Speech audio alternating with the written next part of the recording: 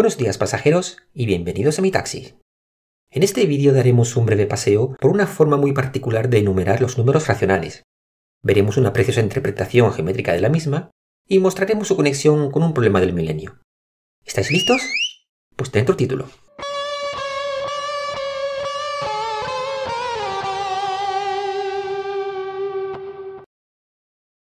Es un hecho bien conocido que el conjunto de los números naturales es numerable.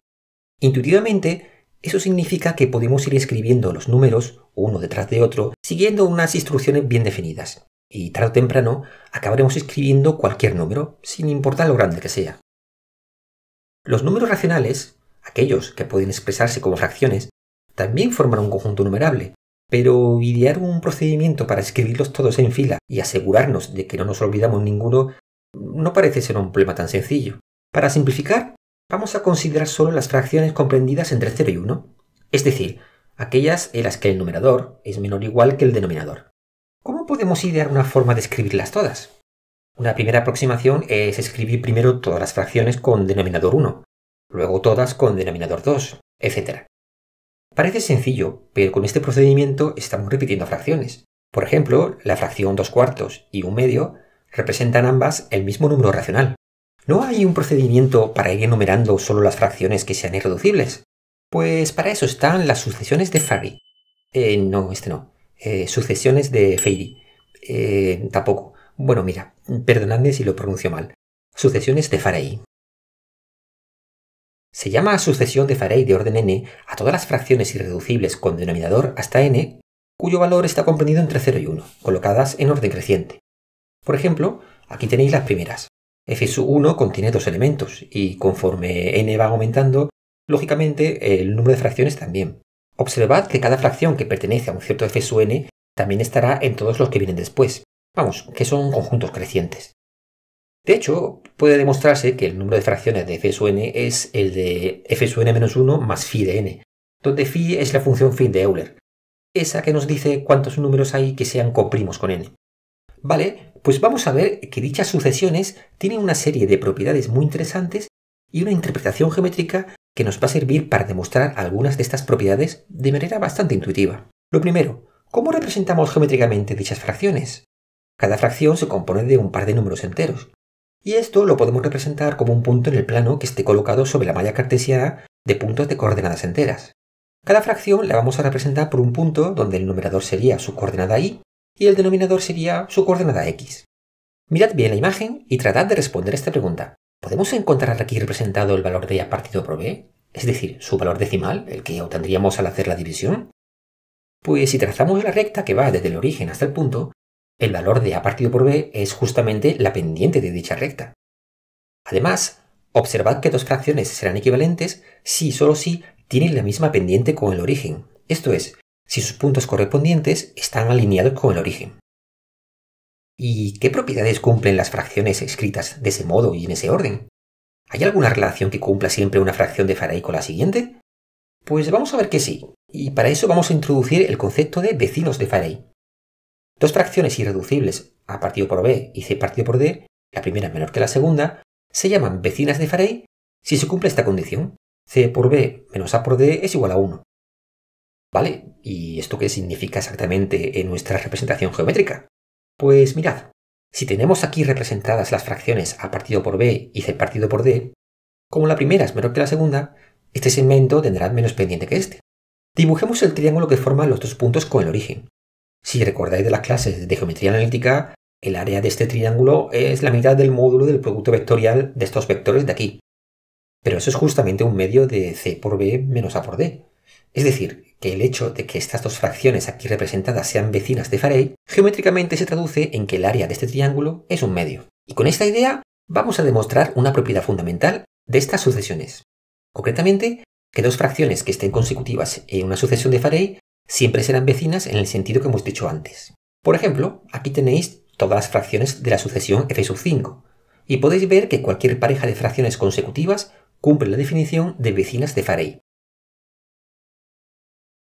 Y vamos a demostrar esta propiedad con una preciosa y sencilla demostración de carácter geométrico dada por el matemático James Joseph Sylvester. Pero antes vamos a enunciar un teorema que necesitaremos usar llamado teorema de Pick. Este teorema nos proporciona una forma muy sencilla de calcular el área de cualquier polígono cuyos vértices estén inscritos en la malla cartesiana, sin más que contar cuántos vértices hay en el borde y cuántos dentro. El teorema de Pick nos dice que el área será el número de puntos en el borde partido por 2 más el número de puntos en el interior menos 1. En este ejemplo, el polígono tiene 17 vértices en el borde y 6 en el interior. Pues en este caso, el teorema de Pick nos dice que el área del polígono vale justamente 17 partido por 2 más 6 menos 1, que es igual a 13,5. Un resultado precioso y quedaría el solo para un vídeo completo. Y usando este teorema vamos a construir unos triángulos muy especiales que nos van a permitir determinar zonas libres de puntos de coordenadas enteras. Observad que un triángulo con los vértices en los puntos de la malla tendrá área 1 medio si y solo si no tiene ningún punto de la malla en su interior ni en los bordes, solo los tres puntos de los vértices. Vamos a usar este tipo de triángulos, como en el juego de los buscaminas, para delimitar zonas libres de puntos de coordenadas enteras. Y ahora sí que sí, pasamos a la demostración. Tenemos que demostrar que dos fracciones consecutivas en una sucesión de Farey son vecinas, para ello, Sylvester imaginó una forma muy curiosa de construir la sucesión. Por ejemplo, para n igual a 7.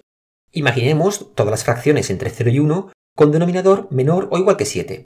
Si el numerador no puede ser mayor que el denominador, esto se traduce en que las fracciones deben estar en este triángulo de aquí. Aquí están todas las fracciones, pero claro, tenemos que procurar coger solo las irreducibles. Si una fracción se puede reducir, su versión irreducible se encuentra justo entre la fracción y el origen de coordenadas, porque reducir significa dividir por el mismo número tanto numerador como denominador. Entonces, una fracción irreducible en esta representación corresponde a aquellas que no tienen ningún obstáculo entre su punto y el origen de coordenadas. De esta manera, imaginemos que cogemos una linterna y vamos barriendo en el sentido antihorario este conjunto de fracciones. Aquellos puntos que la linterna consiga iluminar porque hay otros puntos en medio corresponderán a fracciones irreducibles, y por lo tanto elementos de nuestra sucesión.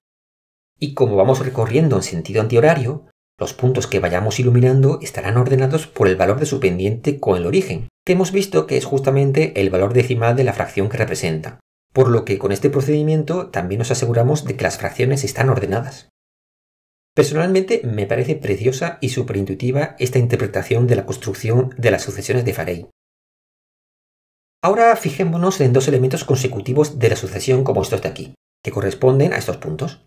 Vamos a probar que son fracciones vecinas de Farey, y para ello, como hemos visto, es equivalente a probar que el triángulo que forman con el origen tiene área un medio. Como son fracciones consecutivas, a la hora de hacer el barrido con la linterna, esta ha pasado del primero al segundo sin iluminar ningún otro punto, por lo que el triángulo que forman con el origen de coordenadas no contiene ningún otro vértice de la malla. Y así, como por arte de magia, ya está demostrado.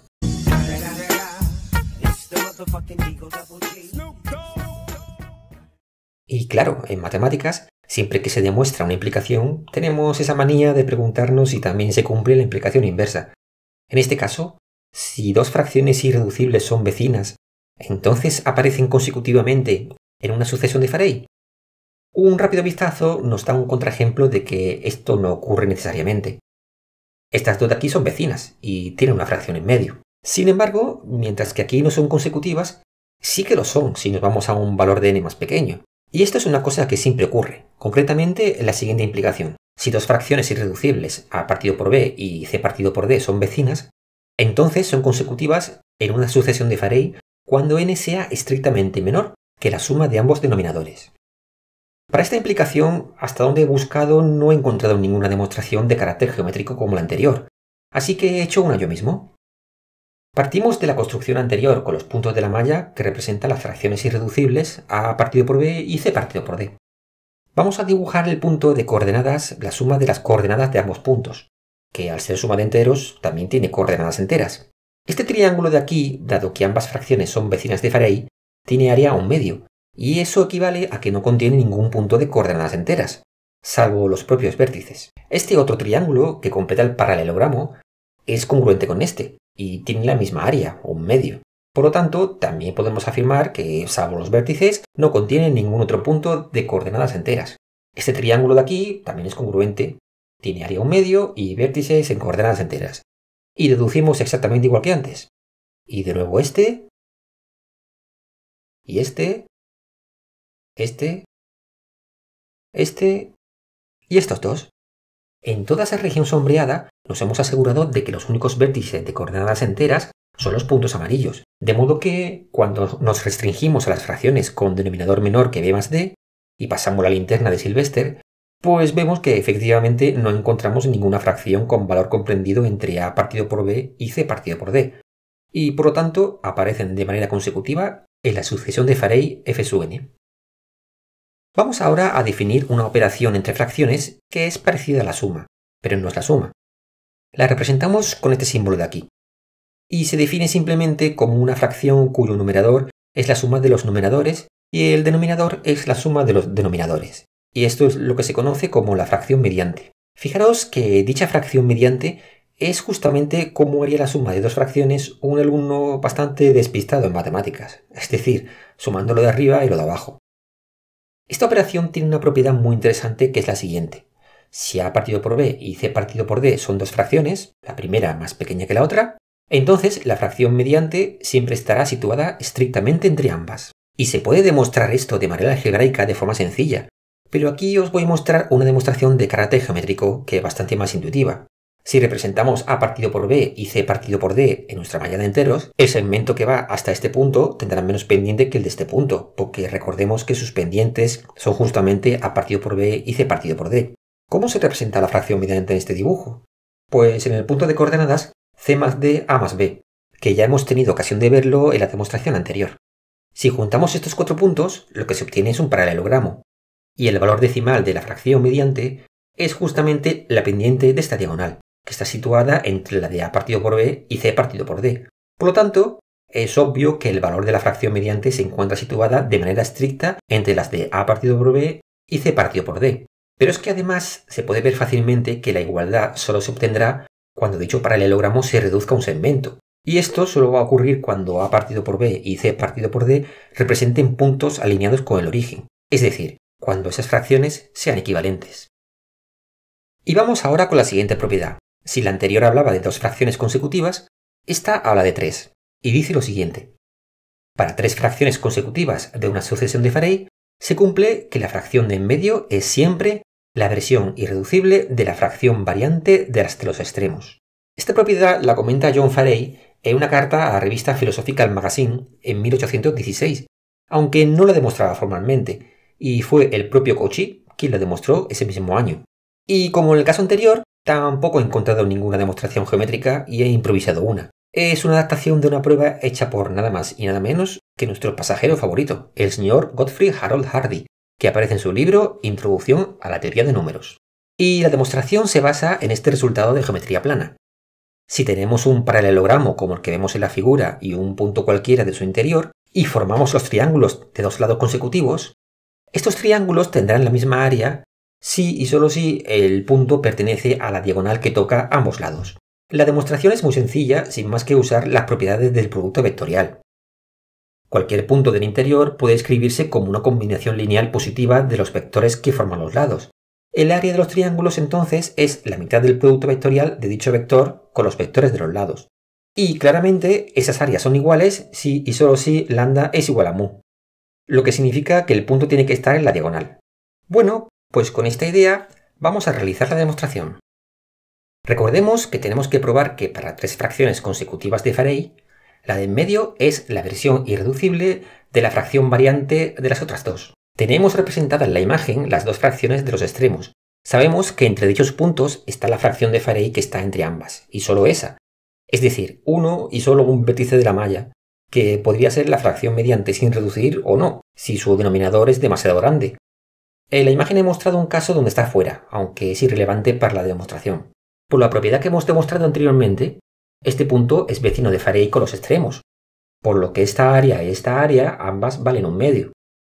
Pero si tienen la misma área, entonces este punto debe estar en la diagonal, por lo que efectivamente esta fracción es equivalente a la fracción variante, y por lo tanto, de manera muy sencilla, hemos demostrado la propiedad. Y de esta misma construcción podemos deducir fácilmente que si las fracciones de los extremos son vecinas, su fracción mediante es irreducible, ya que si en ese caso este paralelogramo tiene área 1, la única posibilidad para el punto de en medio de que los dos triángulos sigan teniendo área 1 medio es que éste se coloque justamente al final de la diagonal. Es decir, en este caso la linterna llega hasta el final del paralelogramo y por lo tanto la fracción mediante es irreducible. Y para terminar, y para que veáis la importancia de esta sucesión, vamos a ver una conjetura sobre las sucesiones de Farey, que es equivalente nada más y nada menos que a uno de los problemas del milenio. La idea es muy sencilla y trata de cómo se distribuyen los elementos de la sucesión de Farey sobre el segmento unidad. Eh, ¿Están uniformemente repartidos? ¿Sí? ¿No? ¿Mucho? ¿Poco? Si queremos definir algún tipo de medida que me diga cómo de uniformemente repartidas están las fracciones de la sucesión de Farey, podemos calcular estos números de sub kn, que no es más que la distancia entre el valor de la késima fracción de la sucesión f sub n y el valor teórico que tendría si estuvieran uniformemente repartidas en el segmento que va de 0 a 1. Aquí os muestro un ejemplo con la sucesión f sub 9 de Farey, que tiene 23 fracciones. Hacemos 23 marcas en el segmento unidad que estén uniformemente repartidas y a continuación colocamos las fracciones de Farey f sub 9. Lo que vamos a hacer es calcular las distancias entre las marcas rosas y los puntos azules de izquierda a derecha. Esos son los números de sub kn. Conforme n aumenta, es obvio que aumenta la cantidad de los de su kn, pero también parece intuitivamente correcto que se van haciendo más pequeños. ¿Qué le ocurre entonces a la suma de esos números, cada vez más pequeños, pero más numerosos? Podemos preguntarnos si esta suma, si tiende a infinito, lo hará más despacio que alguna potencia de n. Bueno, pues si alguno de vosotros consigue demostrar que esta suma tiende a infinito más despacio que cualquier potencia de n mayor que un medio, ya podéis llamar al Instituto Clay para que os pague un millón de dólares, porque entonces habéis demostrado nada más y nada menos que la conjetura de Riemann. Y es que sí, esta conjetura es equivalente a la de Riemann, y esta equivalencia es conocida como el teorema de Fresnel-Landau. En resumen, Hemos visto una curiosa forma de construir de manera ordenada fracciones irreducibles y una hermosa interpretación geométrica que nos permite demostrar de manera bastante intuitiva tres propiedades sorprendentes de dicha sucesión. Y hay muchas más cosas de las que hablar de esta sucesión, pero esa es otra historia y será contada en otra ocasión. Y hasta aquí el vídeo de hoy. Eh, espero que os haya gustado y si queréis que suba más vídeos de estos, no olvidéis dejar un comentario con la palabra calasparra. Un saludo y hasta otra.